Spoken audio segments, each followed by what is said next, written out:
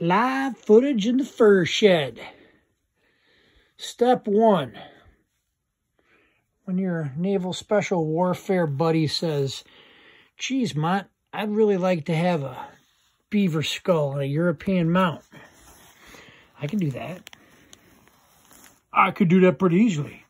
Kill the beaver, chop the beaver's friggin' head off, freeze the head, and then go ahead and thaw that head out. Probably gonna take a good day at least to thaw this head out, both of these heads. And then I'll cook them in this crock pot. In a solution of Dawn dish soap first. Then, after I pick all the meat off the bones, I'll put them in hydrogen peroxide. Or I'll whiten them all up. Get a beaver tongue. Big old beaver tongue. Get a little chip out of his tooth over there.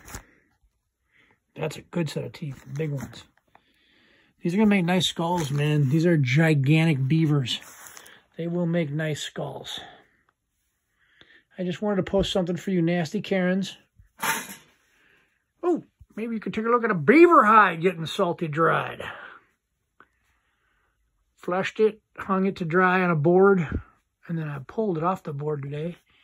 Folded it in half. I will fold it in half again in a day and ship that son of a bitch to the tannery. This one's heading to Pennsylvania. Hoorah! Loving it. All right, I will bring you updates when I cook the shit out of these fucking beaver skulls. Booyah! Suck it, Karens. Eat it, PETA. You guys can blow me.